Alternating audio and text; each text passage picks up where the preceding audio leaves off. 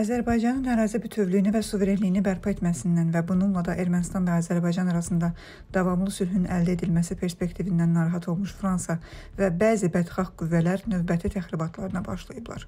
Fransanın təşəbbüsü ilə bir qrup dövlət 2023-cü il oktyabrın 11-də BMT-nin İnsan Hüquqları Şurasında Azərbaycan əleyhinə birgə bəyanat veriblər. Bəyanatda Azərbaycanın Qarabağ bölgəsindən ermənilərin köçməsinin səbəbləri ilə əlaqədar böhtan xarakterli iddialar yer alır və qayıdış hüququ məsələsi ilə spekulyasiya edilir. Hamıya məlumdur ki, ermənilərin Qarabağdan köçməsini həyata keçirmiş, onlar arasında 10 illiklər ərzində sistematik olaraq etnik dözümsüzlüyü təbliğ etmiş və onların Azərbaycan cəmiyyətinə reinteqrasiyasına mane olan Ermənistandır. Belə ki, Ermənistan Azərbaycanda uğurlu reinteqrasiyasının və birgə yaşayışın Ermənistandan qovulmuş Azərbaycanlıların geri qayıtması perspektivlərini gücləndirəcəyini hesab edir. Fransanın sözü gedən təşəbbüslərinin sülhə və insan hüquqlarına xidmət etmədiyinə dair ən bariz sübut həmin təşəbbüslərdə Ermənistandan qovulmuş azərbaycanlıların qayıdış hüququnun yer almamasıdır. Əlcəzairdə soyqırımı törətmiş, Korska dilini qadağan edən, milli azlıqların hüququnu tanımayan Fransanın irqçi, islamofob siyasət yürütməsi heç kimdə şübhə doğurmur. Birgə bəyanata qoşulan ölkələrin Azərbaycana dırnaqarası öyüd nəsihət vermək üçün heç bir mənəvi əsasları yoxdur və onlar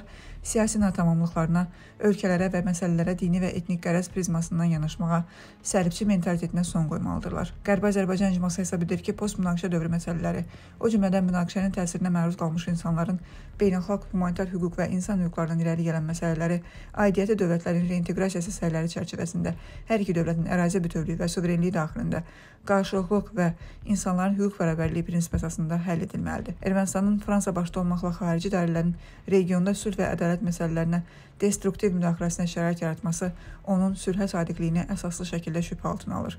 İcma Ermənistan hökumətinə öz tarixi və hüquqi məsləhətini dərk etməyə, Fransanın sözü gedən təxribatlarına iştirak etməməyə, Azərbaycanlıların qayıdışına şərait yaradaraq insan hüquqlarına əməldə hörmət etməyə və sülh üçün yaranmış əvəzsiz imkanı lazımınca qiymətləndirməyə çağırır.